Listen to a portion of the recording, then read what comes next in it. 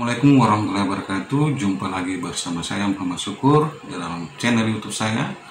Channel yang senantiasa menyajikan informasi-informasi ilmiah dan jauh dari hoax.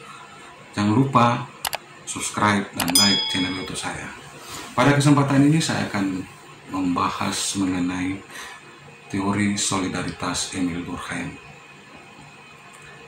Dalam pandangan Durkheim masyarakat itu bergerak dari solidaritas mekanik ke solidaritas organik.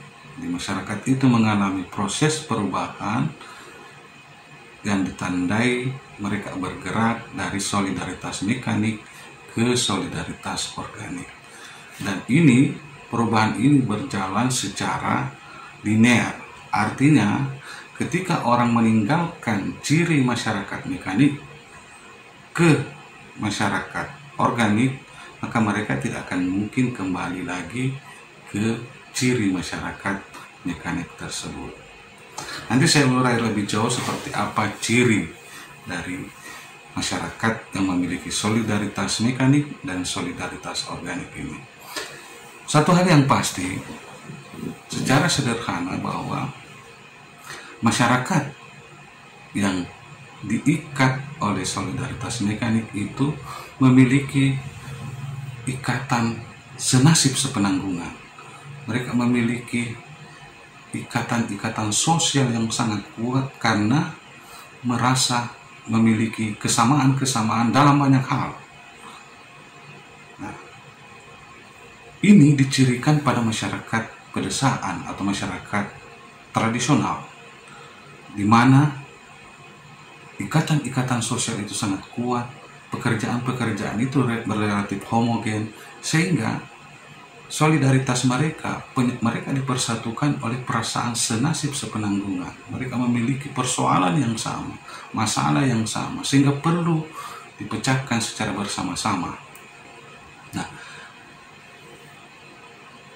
selanjutnya di masyarakat organik atau ciri masyarakat kota atau masyarakat modern mereka itu dipersatukan oleh rasa saling ketergantungan satu sama lain. Ketika misalnya orang tidak memiliki ketergantungan dengan seseorang, maka tidak mereka tidak memiliki hubungan dengan orang itu. Nah ini di masyarakat kota sering kita melihat bahwa dengan tetangga mereka tidak saling kenal. Kenapa tidak saling kenal? Karena mereka tidak memiliki ketergantungan dengan tetangganya Kenapa misalnya dengan penjual sayur yang datang dari jauh mereka saling kenal, ibu-ibu kompleks misalnya saling kenal, karena mereka memiliki ketergantungan dengan penjual sayur itu dalam menyediakan bumbu dapur ataukah eh, bahan sayur untuk mereka masak di dapur. Padahal dengan tetangganya tidak kenal, tapi mereka memiliki hubungan, memiliki ikatan dengan penjual sayur yang datang dari jauh karena mereka tergantung dengan penjual sayur itu. Dengan orang-orang terdekat sekitarnya tidak memiliki ketergantungan, tidak saling kenal. Itu itu ciri masyarakat kota. Jadi solidaritas di masyarakat kota itu dibangun atas dasar saling ketergantungan. Sedangkan di masyarakat pedesaan tadi, tadi masyarakat tradisional solidaritas itu ikatan-ikatan hubungan itu dibalut oleh adanya rasa kebersamaan. Karena relatif pekerjaan itu relatif sama rendah pembagian kerja itu relatif rendah. Orang ketika misalnya hidup di wilayah pertanian umumnya memiliki pekerjaan sebagai petani.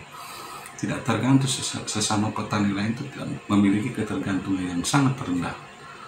Sehingga persoalan-persoalan yang mereka hadapi mereka pecahkan secara bersama-sama dengan cara misalnya bergotong royong. Di kota kalau tidak dibayar tidak memiliki ketergantungan dia akan tidak terlibat dalam hubungan-hubungan sosial tersebut. Nah ada kecenderungan dalam pandangan orang bahwa masyarakat kita ketika meninggalkan sifat-sifat tradisional itu akan tidak akan kembali lagi ke ciri seperti itu dan, dan akan bergerak terus menuju masyarakat modern dan pasca modern mungkin nanti setelah modern atau post modern saya nggak tahu ada istilah lain lagi setelah post modern Nah, secara umum, secara sederhana, ada beberapa ciri dari masyarakat yang memiliki sifat solidaritas mekanik dan solidaritas organik tersebut. Yang pertama adalah di masyarakat mekanik itu pembagian kerja rendah. Sedangkan di masyarakat organik atau di masyarakat kota modern pembagian kerja itu tinggi. Kita tengok di masyarakat desa seperti yang saya tadi kemukakan bahwa ketika mereka hidup di desa itu khususnya di desa-desa pertanian umumnya masyarakat yang ada di situ berprofesi sebagai petani. Ketika misalnya masyarakat itu berada di wilayah pesisir, umumnya masyarakat yang ada di wilayah itu adalah pesisir. Kalau toh misalnya ada pekerjaan-pekerjaan lain yang ada di tempat itu, itu relatif kurang. Relatif kurang. Bandingkan misalnya dengan masyarakat kota, di mana dalam satu kompleks bisa saja puluhan bahkan ratusan jenis pekerjaan yang menghuni kompleks tersebut. Katakanlah di kompleks perumahan atau BTN tertentu. Bisa jadi yang bermukim di situ memiliki banyak sekali jenis pekerjaan. Jadi, tingkat pembagian kerja sangat tinggi sangat kompleks. Nah ciri yang kedua pada masyarakat dengan solidaritas mekanik itu memiliki kesadaran kolektif yang eh, tinggi sedangkan pada masyarakat organik kesadaran kolektif itu menjadi sangat lemah.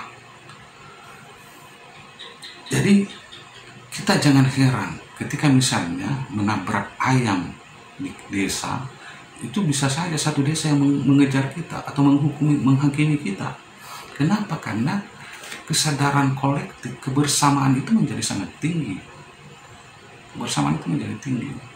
Ada satu tetangga yang di, ditabrak ayamnya, kambingnya, Tiba-tiba satu desa bergerak untuk menghakimi kita. Kenapa itu terjadi? Karena kesadaran kolektif itu menjadi sangat tinggi. Bandingkan misalnya dengan masyarakat kota, di mana kesadaran kolektif itu sangat lemah. Anak tetangga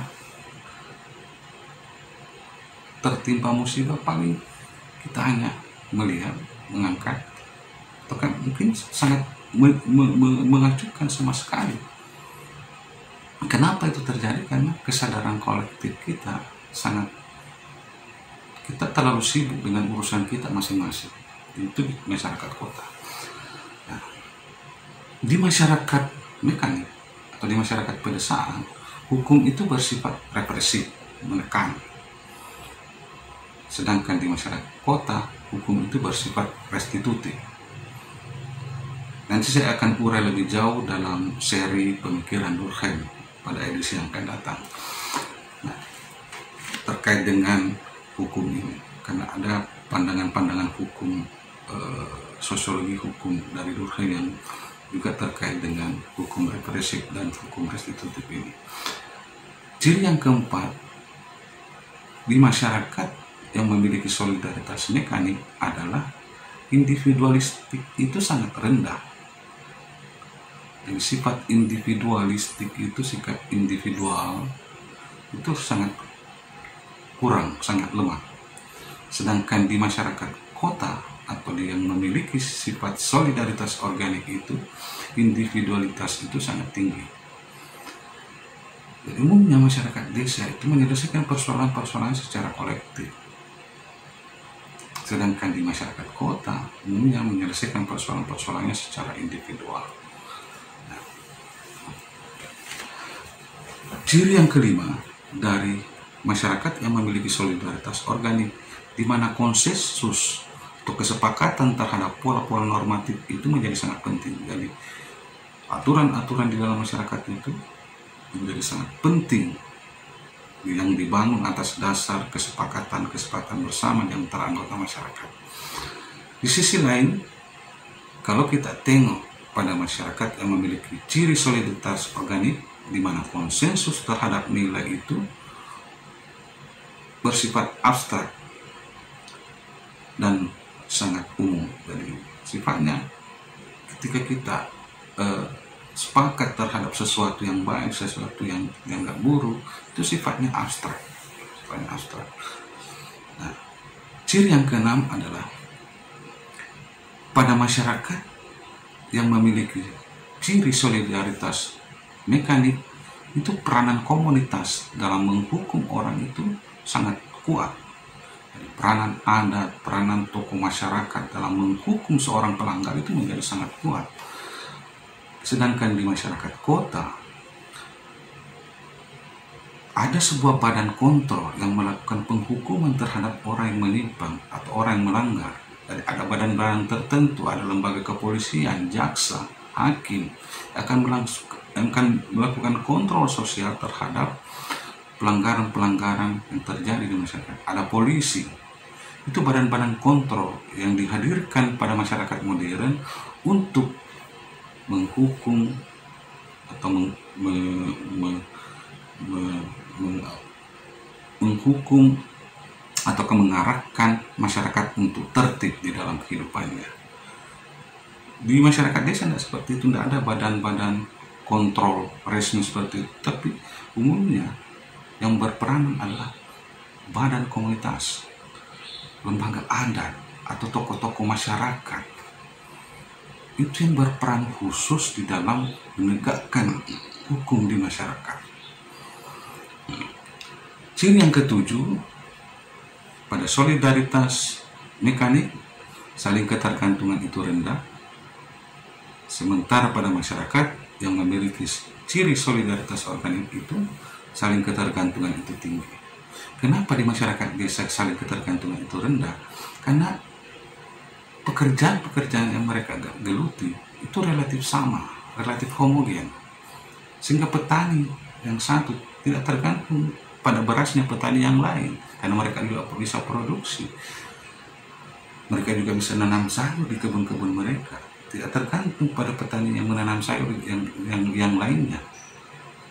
Nah bandingkan dengan di masyarakat kota di mana sekali ketergantungan itu menjadi sangat tinggi karena begitu terpilah-pilah masyarakat ke dalam pekerjaan-pekerjaan yang sampai pekerjaan-pekerjaan yang kecil sehingga saling ketergantungan menjadi sangat tinggi kita tidak mungkin bisa hidup di, mas di masyarakat kota tanpa tergantung misalnya dengan pedagang sayur, pedagang buah, pedagang beras, pedagang ikan.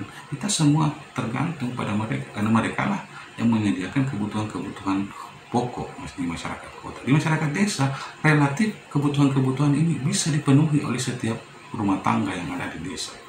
Sehingga praktis di desa itu memiliki tingkat ketergantungan yang rendah. Nah, ciri yang kedelapan masyarakat yang memiliki solidaritas mekanik itu bersifat primitif dan pedesaan, sedangkan masyarakat organik yang dicirikan oleh solidaritas organik itu bersifat industrial perkotaan. Nah, yang kesembilan ciri solidaritas mekanik itu diikat oleh kesadaran kolektif, sedangkan ciri solidaritas organik diikat oleh sistem pembagian kerja. Jadi, di masyarakat desa kesadaran kolektif itu menjadi tinggi, kebersamaan itu menjadi tinggi, kegotong royongan menjadi sangat tinggi.